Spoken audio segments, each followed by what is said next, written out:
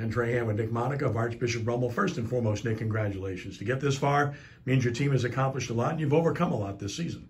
Yeah, it's it's been a great run. Um, Got to give a lot of credit to the kids and, and our coaching staff um, for just overcoming a lot and dealing with so many different obstacles. And um, you know, I think every every year every team has to deal with some things, and especially injuries. But um, uh, you know, it seems to be a little bit more difficult this year than than most. Some of the, the more trying times, but uh, guys stuck with it, and you know, we took it uh, one day at a time, and every Sunday was a, a different challenge for us. But um, you know, to get here is, is pretty special.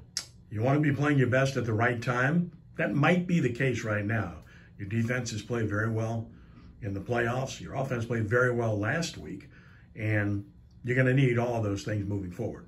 Yeah, no doubt. Um, I think since we really since the Scotlandville game, week five, I feel like we've been pretty solid on defense. We've had some really, really good performances. We've had some um, just some good performances, but I, I feel like we've been pretty good uh, on that side of the ball.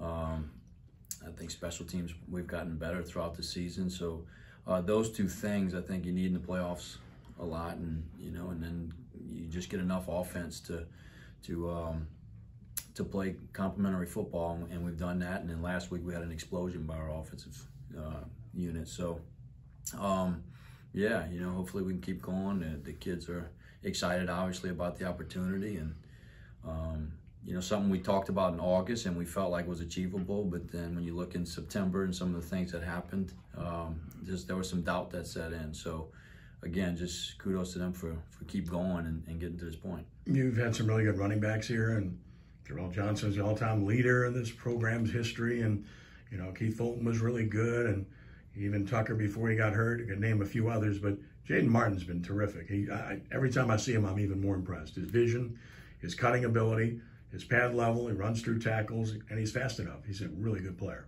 Yeah, and um, he's our first thousand yard back in ten years here, uh, which says something because we've had some good running backs, and um, eh, you know to tell you that the majority of the year we've either been really beat up on the offensive line or been shuffling guys on the offensive line. So again, the rush for 13, 1400 yards uh, behind that, it, he's done a lot of it on his on his own, and um, you know he's we've had some pieces that have been out, and um, just trying to find the right combination you know, hopefully it all clicks and comes together, you know, for another week or two. And, um, you know, it's he's he's been a really good player for us for three years now. Very familiar opponent, Catholic High. You played him last year. You, know, you played him a bunch of times 2020, 2019, 2018. You've seen him so many times. Uh, it is a different coach, but it's the same bunch and it's a similar look. They're just a talented football team and a team that's accustomed to winning. Yeah, a lot of similarities to the last five times we played them. So this makes five times in six years that we played them in the postseason. And, um, you know, a lot of things are the same. Um, really good football team with some great players mixed in. And, um, you know, it's going to be a good challenge. There's uh, this, their coach was um, an assistant for Gabe and uh, the DC was the DC for Gabe. So again, there's a lot of familiarity with it and they probably feel the same way. Um, so, you know, it's just going to come down to whoever plays the best that night. And, you know, hopefully our kids are, are prepared and ready to go. Yeah, I mean, not a whole lot of people expected you to be here, but these kids probably did, and you probably did. Yeah, you know, as I mentioned, in August during camp, you know, everything looked good. Um, kids were moving around some energy. We had good leadership, and um, all the right things were being said, but they're the way they approached it was different. And um, so, so we were really positive going into the season. And then, you know, things happened.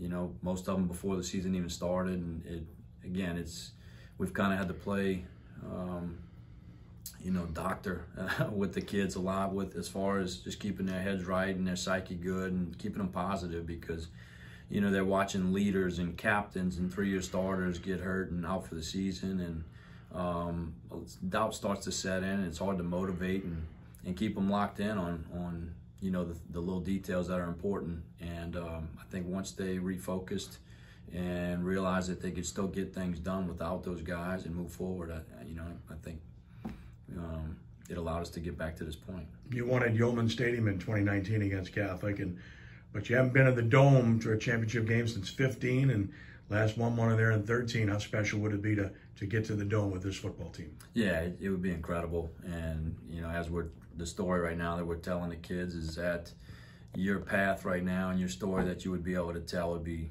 different than any other team in, in school history. And um, you know, this is a different route, but um, the end goal could still be the same, and, and that's what we're shooting for.